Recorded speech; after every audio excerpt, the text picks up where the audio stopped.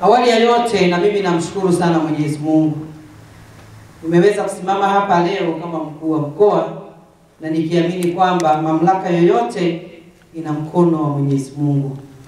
Namshukuru amenifikisha salama katika mkoa huu wa Singida, lakini kubwa ninamshukuru sana sana sana Dr. Samia Suluhu Hassan, Rais wa Jamhuri ya Muungano wa Tanzania, Amiri Jeshi Mkuu Chifu Hangaya, mama wa taifa hili, kwa kuniona bado ninaweza kumsaidia kazi kwa nafasi ya ukuu wa mkoa wa Singida.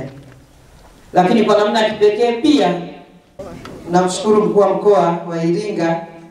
Sikutegemea kwa kweli kupata mapokezi haya, na hii ni imani kubwa amenionyesha, na niseme kunapoenda imani tunarudi hisani.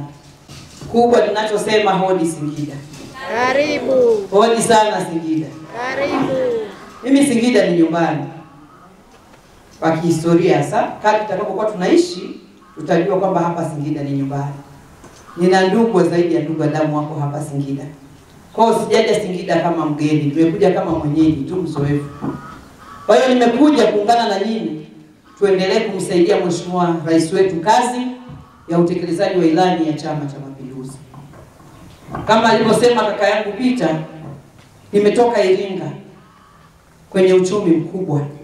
Nilipokea Iringa ikiwa na takwimu za juu sana, na kwa kweli nilikuwa na changamoto kwamba hizi takwimu mbona ziko juu sana, nisije na mimi nikatoka hapa nikazishusha, lakini namshukuru Mungu zilipanda maradufu. Kwa nimekuachia mkoa ukiwa salama sana. Ukinipa kitabu cha ilani almost tumemaliza kila kitu, bado vitu vidogo sana, lakini ninapokuja Singida umeniambia kuna changamoto lakini mimi nakupongeza kwa yale makubwa mazuri uliyoyafanya. Nilikuwa nakuona kila siku kupitia mtandao wetu, muda wote uko vijijini, unachapa kazi, na mimi niwahakikishie wana Singida, aliyeondoka Kulwa, aliyekuja ni Doto. Ofisi ile mimi sio sehemu yangu, ile atakaa rasmi.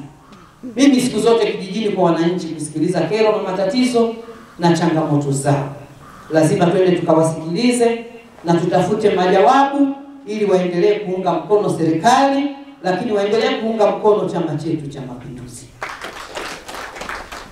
Mimi dada yenu mnayenipokea, sina neno linaloitwa changamoto katika misamiati yangu, yaani ndio mnipokee leo siku ya kwanza, mjue sina kitu kinachoitwa changamoto katika maisha yangu.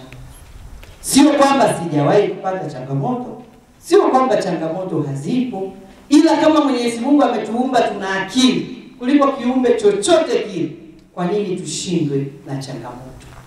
Kwa siku zote napenda tufanye kazi kwa kuungana pamoja, kushirikiana, na pale kwenye changamoto sote tukanoe vichwa vyetu na majawabu yapatikane, iwe msiku iwe mchana, iwe jua liwe mvua, majawabu lazima Ofisi yangu itakuwa wazi kwa kila mtu, sina appointment.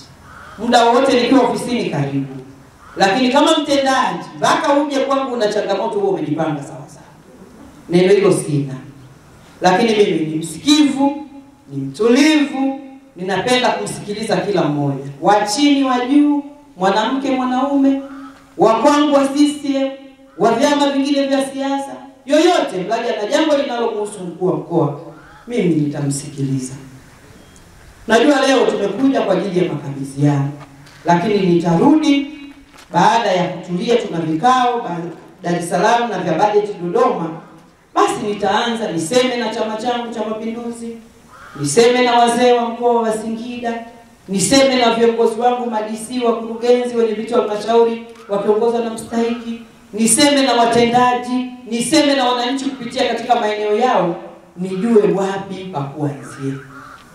Kwa hiyo ni imani yangu kubwa, Mwenyezi Mungu katika muda ambao tutaishi wote, tutaishi kwa amani, lakini tutaishi kwa mafanikio makubwa kama aliyoanzisha kaka yangu Mheshimiwa mkuu wa mkoa wa Iringa.